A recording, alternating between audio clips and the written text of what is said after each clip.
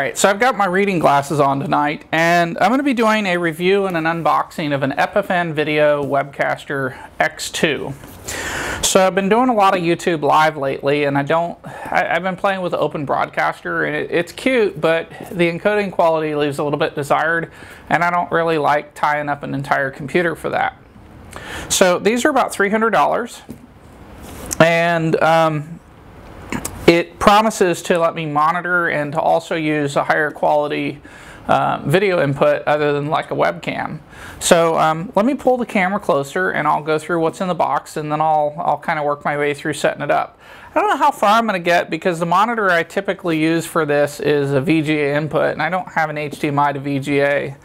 I don't think there's a VGA on this. Anyway, let's get into the box and see what's got what we got. So first things first, we've got, it's, it's a really, it's actually quite nice box.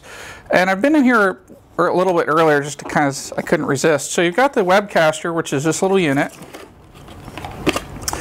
And it's got a universal power supply, so it comes with all the different bits to use it pretty much anywhere in the world. That's really, really cool. And it's set up automatically for the US, and so it looks like you could just twist this. Oh, oh, I see. You push that and twist. Okay, so it's not it's not bad. This actually is uh, a pretty easy way to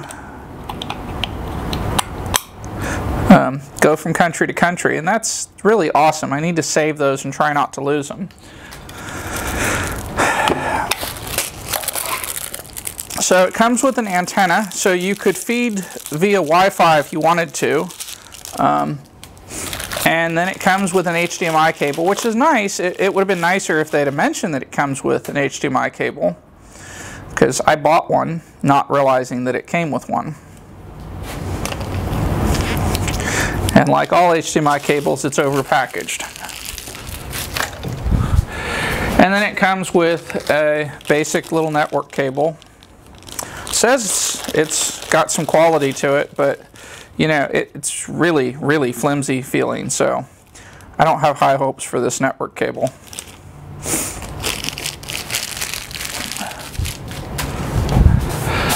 And then it's got some instructions on how to update it and so you basically plug it in and set it loose and asks you to register so they can mark it to you and got a little quick start guide with it. And how to register and how to get help. So pretty pretty standard stuff. So let's let's get this foam off here and uh, I would have expected some plastic, uh, but there wasn't any, so that's kind of cool.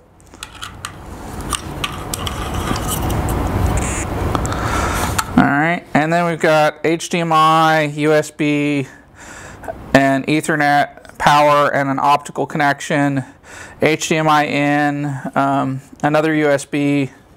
Um, so it's, it's relatively well equipped. Um, I'd love to know what's in it, but that would void the warranty.